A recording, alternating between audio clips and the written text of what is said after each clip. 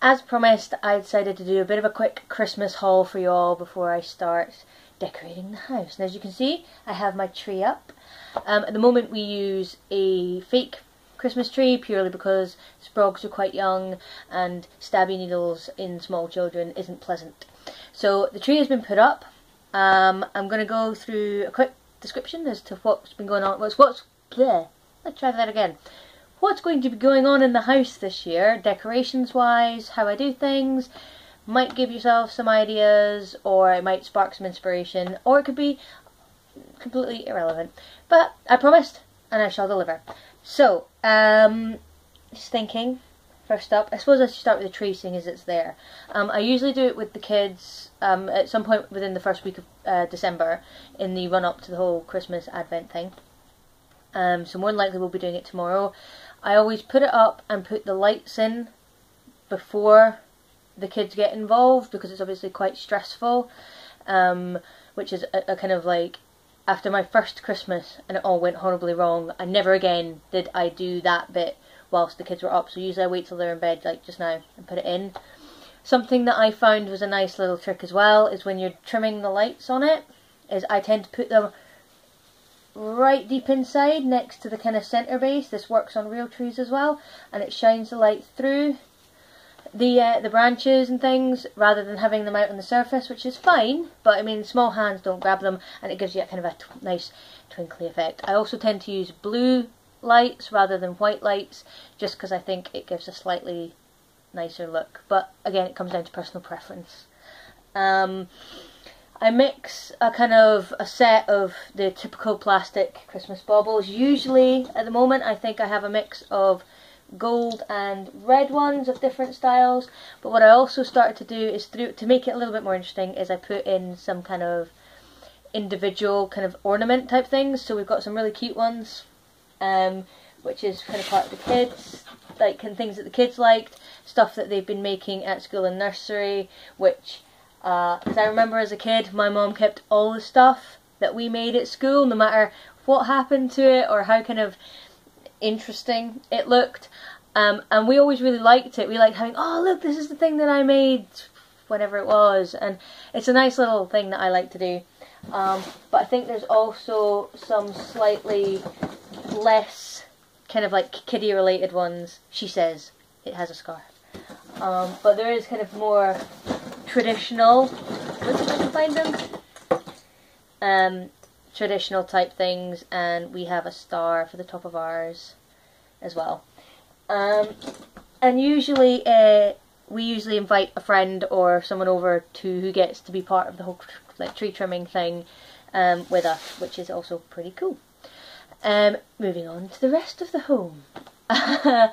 what we're doing this year is because, not that I can show you, but we've got this kind of like um, it's not like a typical TV shelf type thing, but what all the kind of digital stuff is on um, has a flat like laminate, almost kind of laminate wood surface thing.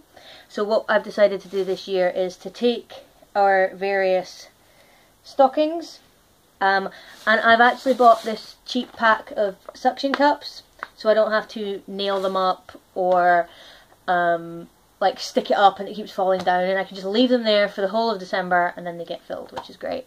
I did check the other surface, like any other surfaces to see if it would stick on. Anything that's like a smooth laminate or metal surface um, it works on. Things like walls as in like interior walls or ceilings, um, cornices and stuff like that does not stick. So I double checked that just in case um, but it doesn't. It only really works on the really smooth um, kind of almost plasticky or metal surfaces. Um, so that's what we're going to be doing there as well. For around the home, like so the main kind of decoration around the house, um, previous years we've had the typical kind of garlands and stuff like that, the foil stuff that if anyone's whoever's used it, it never lasts. It always tears or the weight of it pulls it down. They're never particularly well thought out, I've found. So what I'm going to do this year is something a little bit different. And anyone that's going to be in and around Edinburgh, the store, uh, uh, and stuff like that, then they will have already seen it because I trial ran it at the store. Um, so what I'm going to be doing is from the ceiling, um, I'm going to hang various things. So what I did is I went to the local Poundstretcher and I got the, the giant baubles that you can get, which are obviously pretty fun. I got a, a bunch of different colours, like a nice little variety, things that looked good together. And they're quite heavy, so I'm going to have to be very careful with how I stick these up. Um, I think it's going to be like super duper clear tape going on here. Um, so they're going to be hanging at various points. Obviously, I'm the the ones that I've had like that I've hung previously um, in other places. I usually put them on a nice piece of ribbon, but our ceilings are really low in this house, and so uh, I might be quite short. Other people are not so short, and they would end up bashing their heads off them. And I'm kind of trying to avoid hurting people at Christmas. Uh, so they're just going to be on the the things that they come with, the little bit of uh, string thing in between that, because obviously I didn't want to cover the whole ceiling in giant baubles, I thought that would be a little bit excessive. So in between that, I picked up these kind of like glittery, I don't know if you can see because the light's catching the plastic, glittery kind of snow white sparkly uh, stars, which I thought would be quite nice. Um, kind of sprinkled in between, similar sort of thing, just hanging on the, the ribbon, that it, uh, the string thing that it comes in. Um, but I thought that rather than having loads and loads of tinsel or garlands hanging from the, the various corners of the room and stuff, that that would be a nice um, kind of look really pretty but be relatively minimal, um, which meant putting up and taking down was quite simple. Um, I got, because I can't, can't not have one, I got the typical Merry Christmas garland. Um, I, it's one of the ones that you buy it, so all the letters are cut, sorry, all the letters are cut out, uh, you just need to string them all together, and I think the original design for the one that I bought was to have Merry on one lot of ribbon and Christmas on the other.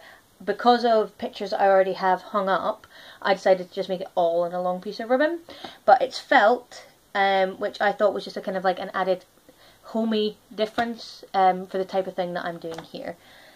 On top of that, what else have we got? Um, that's kind of, there's not an awful lot left actually, because I'm keeping it relatively simple this year. A few little extra things. I've actually already stuck it up in the girls' room this evening, but you know the gel de decoration things that stick on windows? Just little gummy scenes usually. Um, we had we picked a Santa one, and so I did that with the girls earlier before going to bed. Um, so that's up on their window at the moment. And the great thing is they peel off and they don't leave any marks on the window, unlike sometimes the spray snow that doesn't come off or the vinyl stickers that sometimes leave the shape of whatever it was on the window. These ones don't, so they're quite fun. As per usual, I'm quite a candly person. I like scented candles and things, so I got um, an array of uh, fun um, like little tea light holders. So I've got a little uh, snowman here, I have my Christmas pudding and a little tree one as well. And they didn't cost a lot. They only cost me one pound because they came out of the pound store. So that's quite cool as well. And I think for the moment that that... Oh no, wait, I almost forgot. I also grabbed while I was there um, the countdown to Christmas, which is going to go up in the hall for the kids. Because I mean, we're still going to have like the advent calendars and things, but uh, my eldest is at an age where she's constantly asking me how many days, how many days until various events, not just Christmas, but anything major that's going on um, in the household, birthday parties or visits and things like that. And trying to show her on because we've got a family planner, and trying to show her on that it's not quite. Um, she doesn't quite get it. So I got this one because it came with the chalk and stuff, and she, you know they can just mark it off as you go, and she can really see a countdown, um, which I thought was uh, kind of sweet. So this is all that I have at the moment. This is where I'm going to start from. There's a chance that we will do more homemade things with me and the kids, which obviously I probably will end up showing you guys. Excuse me. There'll be still be a ton of baking stuff that I'm going to do because Christmas baking starts pretty much as of tomorrow or like Monday, Tuesday, Wednesday type thing. So that will be coming as well. Um, I have a few other things. One thing that I did want to quickly add that I was discussing is uh, in the I'll put a link in the bottom as well. In the previous video that I did, which was the cocktail Christmas baubles, um, I let Bear like I let Bear taste them as well. Um, and more than just taste, he actually had like he actually had tried to drink one of them and ended up having quite bad stomach pain. I tried to drink one um, to see whether or not it was just like some random fluke and I got stomach pain before I even got to the end of the bauble. So I don't know if that's something that should be taken into consideration. It could be that I don't drink an awful lot and maybe cocktails aren't for me.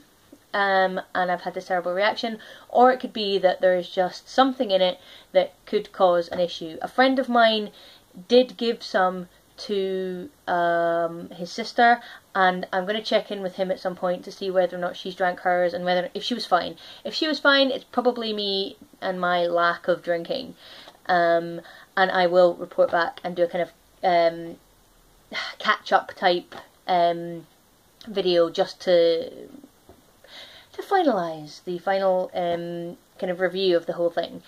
Uh, so thank you for joining me, and I shall see you all real soon. Bye!